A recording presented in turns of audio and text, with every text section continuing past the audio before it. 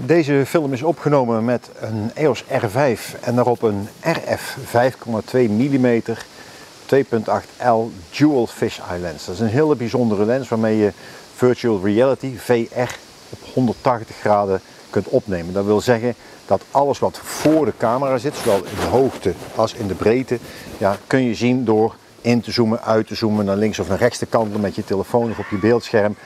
En op die manier kun je dus meer in het verhaal zitten wat iemand vertelt. Dit filmpje is bedoeld om een beetje het perspectief te zien waarin je alles aan het filmen bent. Ik sta ongeveer op 80 centimeter van de lens af en je ziet me toch helemaal in beeld, afhankelijk van hoe je ingezoomd bent. Ik steek nu even mijn hand uit.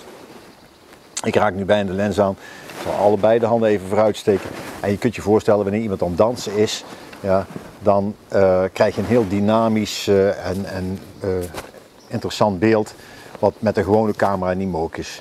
Dus tot zover het filmen met een EOS R5 en een RF 5,2 mm 2.8 L lens van Canon Dual Fisheye. Gemonteerd overigens met EOS VR Utility tot een vierkant beeld van ongeveer 4320 bij 4320 pixels.